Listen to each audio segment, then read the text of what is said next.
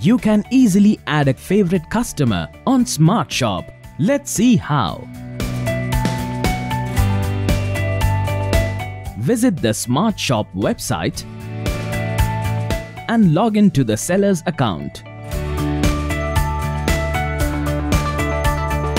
Once there, click on the favorite customer option on the sidebar menu.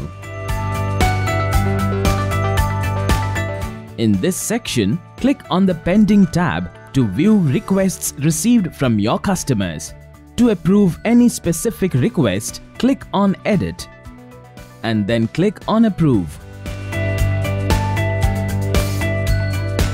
After approving the request, you will be prompted to assign the customer to a specific group.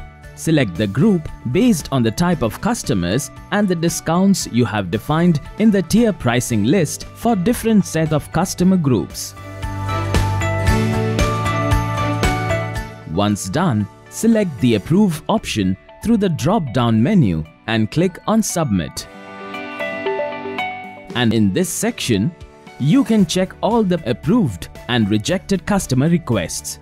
Once the seller approves your request, log into your SmartShop account and start buying from your preferred sellers to avail exclusive deals and offers.